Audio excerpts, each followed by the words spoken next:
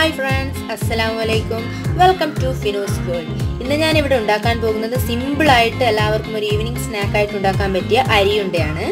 അപ്പോൾ അതെങ്ങനെയാണ് ഉണ്ടാക്കേണ്ടത് നമുക്ക് നോക്കാം. അതിനായിട്ടുള്ള ഇൻഗ്രീഡിയൻസ് ഇത് രണ്ടര കപ്പ് പുഴുങ്ങലരി കഴുകിയെടുത്തതാണ്.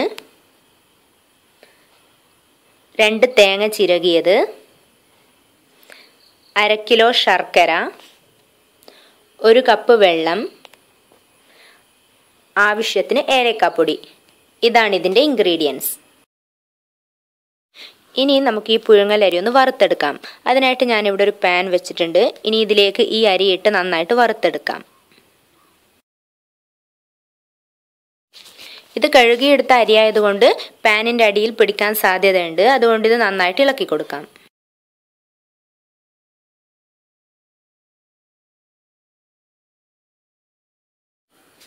ഇനി ഇതൊരു ബ്രൗൺ കളർ ആവുന്നത് വരെ നമുക്ക് വറുത്തെടുക്കാം. ഇതൊരു ബ്രൗൺ കളറായി വരുന്നുണ്ട്.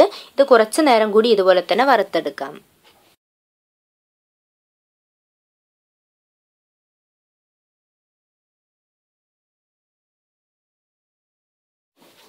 ഇത് ഇളക്കിക്കൊണ്ടേയിരിക്കണം അല്ലെങ്കിൽ ഇത് കരിഞ്ഞു പോകും. നന്നായിട്ട് തന്നെ ഇളക്കി കൊടുക്കാം.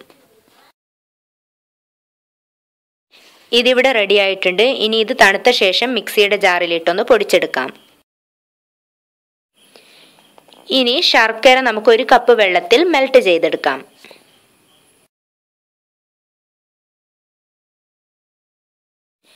ഈ ശർക്കര മെൽട്ടാവുന്ന സമയം കൊണ്ട് നമുക്ക് വറുത്തെടുത്ത അരി ഒന്ന് പൊടിച്ചെടുക്കാം. നനവൊന്നുമില്ലാത്ത ഈ ചെറിയ മിക്സിയുടെ ജാറിലിട്ടിട്ടാണ് ഞാനിത് പൊടിച്ചെടുക്കുന്നത്.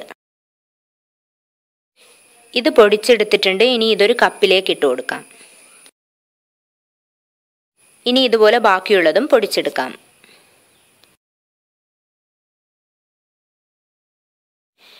ഈ അരി ഇവിടെ റെഡിയായിട്ടുണ്ട് ശർക്കര നന്നായി തിളച്ചു വരുന്നുണ്ട്. ഇനി ഇതിലേക്ക് തേങ്ങ ചിരകിയത് ചേർത്ത് നന്നായിട്ട് മിക്സ് ചെയ്യാം. ശർക്കര നന്നായി മെൽട്ടായ ശേഷം ഒരു ഒരരിപ്പ് വെച്ച് ഞാനിത് അരിച്ചെടുത്തതാണ്. സോറി അത് പറയാൻ വിട്ടുപോയതാണ് കേട്ടോ ശർക്കര നന്നായിട്ട് തിളച്ചു വന്നിട്ടുണ്ട്. ഇനി ഇതിലേക്ക് ഒരു സ്പൂൺ ഏലക്കാപ്പൊടി ചേർത്ത് നന്നായിട്ട് മിക്സ് ചെയ്യാം.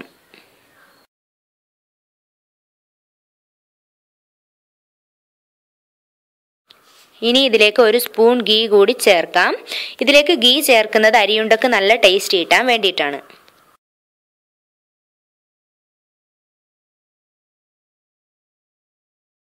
ശർക്കര നന്നായി കുറുകി വന്നിട്ടുണ്ട്.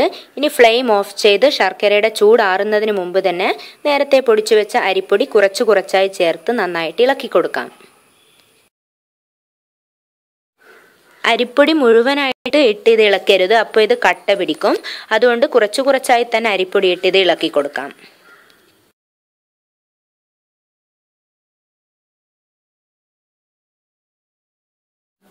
ഈ മിക്സ് ഇവിടെ റെഡി ആയിട്ടുണ്ട്. ഇനി ഇത് കുറച്ച് തണുത്ത ശേഷം ഓരോ ബോൾസുകളാക്കി എടുക്കാം. ഇത് കുറച്ച് തണുത്ത് വന്നിട്ടുണ്ട്. ഇനി ഇത് ഓരോ ബോൾസുകളാക്കി എടുക്കാം. ഇതുപോലെ ബാക്കിയുള്ളതും ബോൾസുകളാക്കി എടുക്കാം.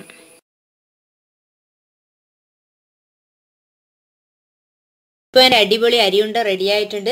ഈസി ആയിട്ട് എല്ലാവർക്കും ട്രൈ ചെയ്യാൻ കഴിയുന്ന ഒരു റെസിപ്പിയാണ് എല്ലാവരും ട്രൈ ചെയ്യണം ട്രൈ ചെയ്തിട്ട് ഫീഡ്ബാക്ക് സെൻഡ് ചെയ്യണം. എന്റെ ഈ വീഡിയോ നിങ്ങൾക്ക് ഇഷ്ടപ്പെട്ടാൽ ലൈക്ക് ചെയ്യുക. എന്റെ ചാനൽ നിങ്ങൾ ഇതുവരെ സബ്സ്ക്രൈബ് ചെയ്തിട്ടില്ലെങ്കിൽ സബ്സ്ക്രൈബ് ചെയ്യുക. തൊട്ടരികിലുള്ള ബാക്ക് ചെയ്താൽ ഞാൻ അപ്ലോഡ് ചെയ്യുന്ന ഓരോ വീഡിയോവും നിങ്ങൾക്ക് നോട്ടിഫിക്കേഷൻ ലഭിക്കുന്നതാണ്. Thanks for watching bye bye